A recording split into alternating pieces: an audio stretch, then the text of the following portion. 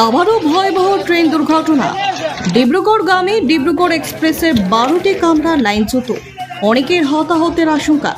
এবারের ঘটনা উত্তরপ্রদেশের গোন্ডা জেলায়। বৃহস্পতিবার দুপুরে আড়াইটের কিছু পরে জিলাহি স্টেশনের কাছে দুর্ঘটনাটি ঘটে। ট্রেনের একটি এসি কামরা মারাত্মক ক্ষতিগ্রস্ত।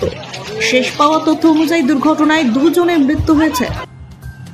একাধিক এসি কামরা লাইনচ্যুত কী কারণে দুর্ঘটনা ঘটল? বিষয়টি এখনও স্পষ্ট নয়। উত্তরপ্রদেশ সরকারের তরফে ইতিমধ্যেই দুর্ঘটনাস্থলে পাঠানো হয়েছে উদ্ধারকারী দল। রেল দুর্ঘটনায় আটকে পড়া যাত্রীদের যুদ্ধকালীন তৎপরতায় উদ্ধারের কাজ শুরু হয়েছে। বেশ কয়েকজনকে ইতিমধ্যে উদ্ধার করে নিকটবর্তী হাসপাতালে পাঠানো হয়েছে।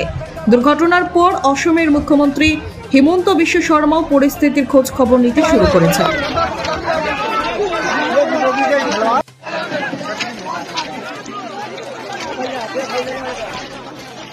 একাধিক এসি কামরা লাইনচ্যুত। কী কারণে দুর্ঘটনা ঘটল? বিষয়টি এখনও স্পষ্ট নয়। উত্তরপ্রদেশ সরকারের তরফে ইতিমধ্যেই দুর্ঘটনাস্থলে পাঠানো হয়েছে উদ্ধারকারী দল। রেল দুর্ঘটনায় আটকে পড়া যাত্রীদের যুদ্ধকালীন তৎপরতায় উদ্ধারের কাজ শুরু হয়েছে। বেশ কয়েকজনকে ইতিমধ্যে উদ্ধার করে নিকটবর্তী হাসপাতালে পাঠানো হয়েছে।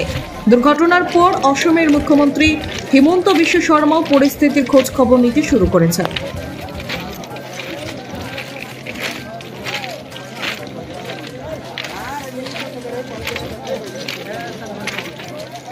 छः बजे के करीब में हादसा हुआ है। हाँ।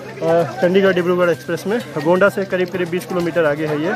जी। तो बता रहे मनकापुर अभी यहाँ से पाँच किलोमीटर है। हाँ। और दो बोगियाँ तो एकदम से ऐसे पलट गई हैं। हाँ। एक बोगी ऐसे लगी है बाकी तो आप देख ही सकते हैं पटरियों की क्या हाल है पटरियाँ खिसक चुकी हैं यहाँ पे। कैजुअलिटी भी हो सकती है अभी उसको मालूम नहीं है।